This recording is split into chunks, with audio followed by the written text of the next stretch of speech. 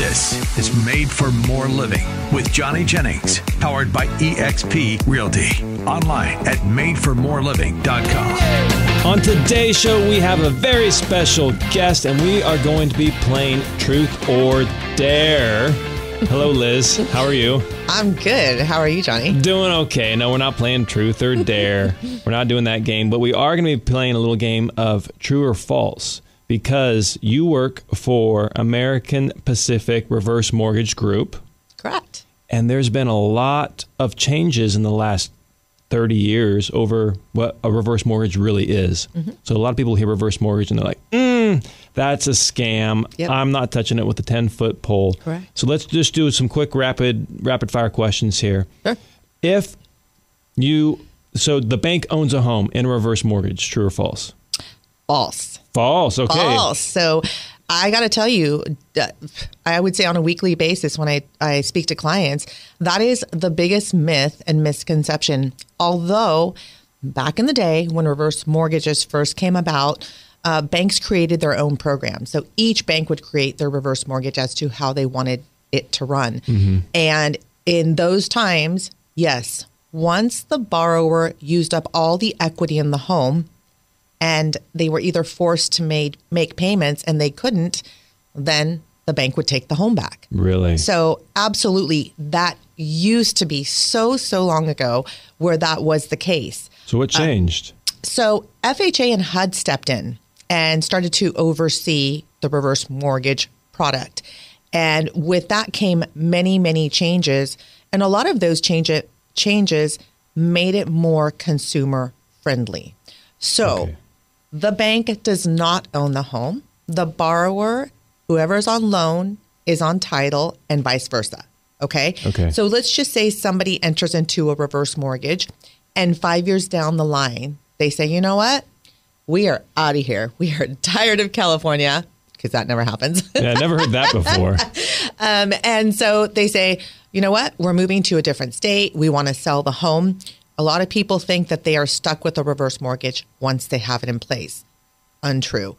So at that point in time, they sell the home, they list it with Johnny Jennings. There you go. Love it. and um, what happens at that point in time, whatever money they've used with the reverse mortgage, it's accrued interest and a little bit of mortgage insurance, mm-hmm. whatever the balance is at the time, gets paid off through the sale, just like any other home. Just like a regular loan. Yeah, yeah, yeah, yeah. So what happens at that point in time is that no penalty, no harm, no foul. You just pay off that balance at the time and you take that remaining equity to whatever state you want to move to. Beautiful. Easy. So so basically if you have a reverse mortgage in place, you own the home. It's the same a lot of the same rules apply as a traditional loan. Correct. Got yeah. it. So that's not scary. No, no. If it's in it and it's of course for the right situation and the right person.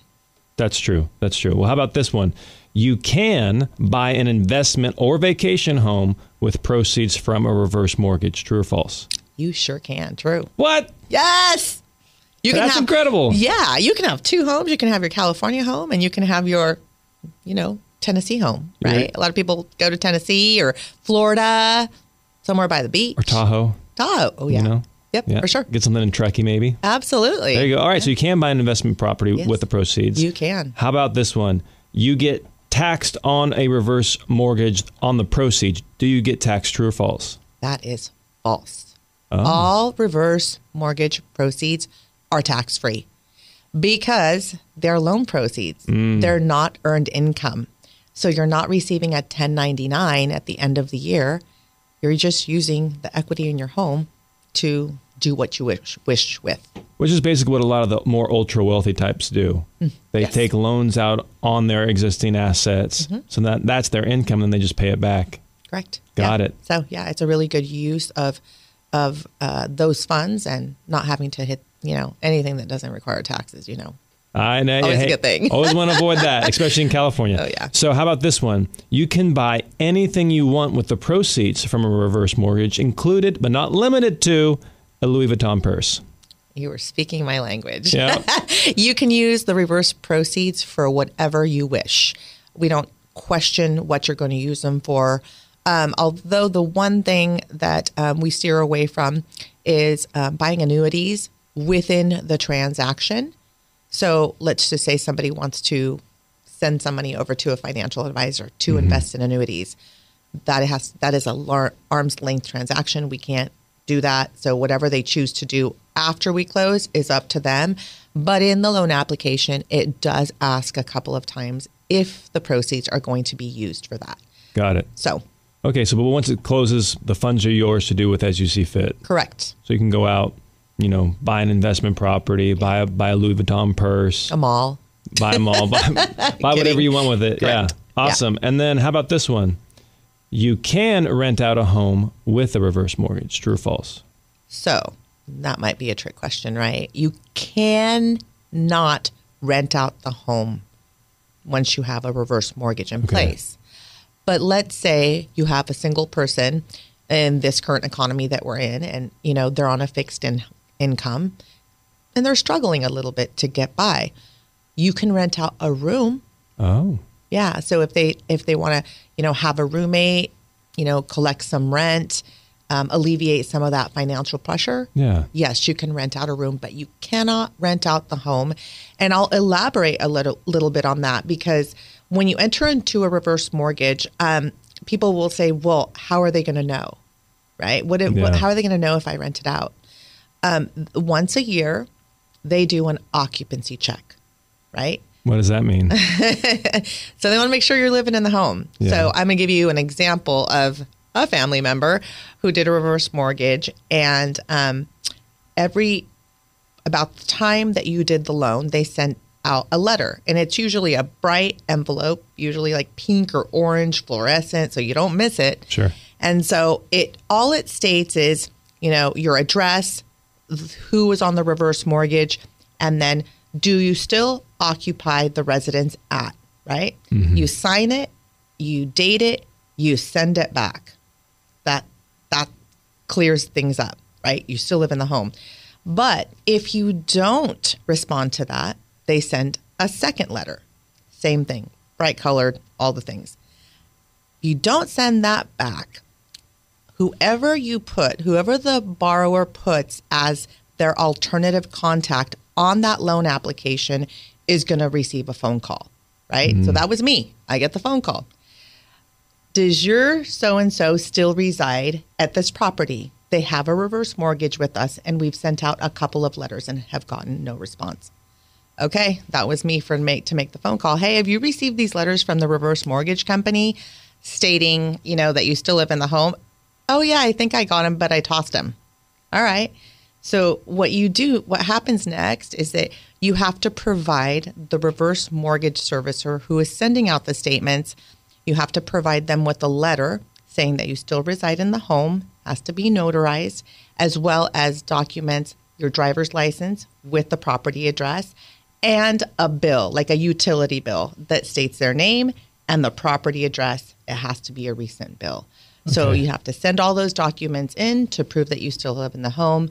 Um, but at some point in time, if those things, if the alternative contact doesn't reach out, then they'll they'll check. They have ways of finding out. So what happens if somebody's rented out the property, or I've even heard stories where the person has passed and they're still collecting checks on for them the reverse mortgage and they just haven't reported it. Like, what happens if any of those guidelines have been broken? Like, what's the next step for the bank or for the family? So the bank could call that note due. And is it due like immediately? Is it ninety days? Like, how does that work? The, the servicing lender will send out a, a letter saying you ha- there has to be something done within 30 days. Thirty days. Yeah. And if they days. don't, then it goes back to the bank. Um, so then they'll they'll start the procedure of A normal foreclosure. Yes, correct. So that's like that thirty day maybe be like the the notice of default. correct, yeah. Okay. So it's a first notice, Okay. you know, and then they they'll continue the process, uh, and they each servicing lender has their process of how to deal with that. But yeah, if they find out that somebody is not living in the home, that is part of the application process. Is the four things that you have to keep in place is you must live in the home as a primary residence. You uh, you can have a second home and go back and forth. That's fine. Let the servicing lender know that you're going to be gone for a certain period of time. If you're going to be a long, gone a long time, you must pay your property taxes and homeowners insurance on time. That is like a biggie, right? Yeah. And then any other property fees like HOAs or anything like that, make those payments, and then keep the home in good condition. Doesn't have to be Taj Mahal, but just make sure that you're taking care of that home. If things break, uh, there's a, root, a hole in the roof, you got to fix that. Those are things that are safety and hazard issues to the borrower. Yeah, and that makes sense too. Like it's still your home. Treat it like it's your home. Yes. Yeah. Because pe- I think that's why people, and uh, it still has kind of a stigma is that, oh, well, people that have a reverse mortgage, you know, don't take care of their home or they trash it because it's going to go back to the bank. Mm-hmm. Well, what if you want to sell that home and you want your highest dollar five years down the line? Yeah. Why would you do that? yeah, yeah, you're just shooting yourself in the foot. Yeah. Yeah. So that leads me to my last question: Is you can't buy a home, or last statement, you can't buy a home with a reverse mortgage. True or false? you can buy a home using a reverse mortgage. It's called a HECM for purchase. A HECM for purchase. Yeah. So HECM means home equity conversion mortgage. And they changed the name of a reverse mortgage to make it sound probably, you know, better and, ha- and kind of get rid of some of those myths. But it's the same thing. It's a reverse mortgage. It's just different terminology. And when I entered into this niche of the industry 15 years ago, it actually took an act of Congress to make the reverse mortgage a purchase tool. Really? Yes. So it's only been around for 15 years. Wow. Um, and it's a really good use, especially knowing that people of the age demographic to qualify for a reverse mortgage are usually the ones that have the most equity to move from home to home. Mm-hmm. And we see a lot of downsizing. So people that have that big home, now they're empty nesters and they're like, you know what? We have a two story. This doesn't work for us anymore. We have a ton of dispensable space. Yeah. We don't want to deal with that anymore. Let's take our equity and move it into a smaller home and not have a principal and interest payment. Mm-hmm. That is always the goal with the reverse mortgage is that you're not going to have a principal and interest payment moving forward. That's so cool. So we've actually done um, a deal where somebody in I can't remember the city. Man, this is where this is where Valerie comes in handy. But um, I think it was Antelope. The person had bought a home in An- Antelope using a reverse mortgage, and they decided, hey, you know what? They're like the only person that's ever said this, right? They want to leave California, and so they uh, they uh, decided, hey, we're gonna sell, or she decided, we're gonna, I'm gonna sell this home. I'm gonna buy another home in I think it was Utah, Park City, Utah, mm-hmm. and she was so excited with what she was able to do because she keep in mind she had a reverse mortgage on this property already. Yep. Yep. She sold the home, mm-hmm. took the proceeds from the sale, mm-hmm. bought a home in Park City, Utah, with another reverse mortgage, Correct. and she was so ecstatic. Yep. Yep. It is a really good tool for relocating, for right sizing. And you'd be surprised at how many people not just, you know, go into a smaller home, but we're talking right now about baby boomers. So, you know, people that are older than baby boomers, they just want a roof over their head. Baby boomers don't want a roof over their head. They want the house, mm-hmm. right? They want It's a lifestyle. yeah, it's a lifestyle. And so if they own a home outright, you know, and they they have they have no payment and they want to move in a bigger home into a bigger bigger home but still have no payment, this is the perfect opportunity to do that with. It's so incredible. Like there's just so hopefully if you're listening to this, you're getting the idea that reverse mortgage these are not your granddaddy's reverse mortgages. These are a whole new product. And actually when we come back, we're gonna be talking about how having a reverse mortgage on a property is a lot like winning the lottery. Back after this. Mike, do you think it's possible to have your cake and eat it too? According to my dad growing up, absolutely not. Well, especially if it's German chocolate cake. Mm, Oh my goodness. Well, it is actually possible, especially if you're selling your home and you're working with our good buddy Johnny Jennings and the Tom Daves real estate team. Listen to this. Margie and Ben, they wanted to sell their mother's home in Rancho Cordova, but here's the thing. They wanted to sell it as is with no repairs and for top dollar. So they wanted their cake and eat it too. But guess what happened? Johnny Jennings made it happen the first weekend on the market. It brought them eight offers, sold for almost $20,000 over list price. That is what happens when you work with the professionals of uh, Johnny Jennings and the Tom Daves real estate team. Uh, so if you want to get top dollar for your house, maybe you're curious what kind of offers you can get, or you just want a cash offer and you want to be done, uh, call them today at 855 Tom Daves, or you can always go online to tomdaves.com. That's Tom, D A V E S.com. License number 581 837.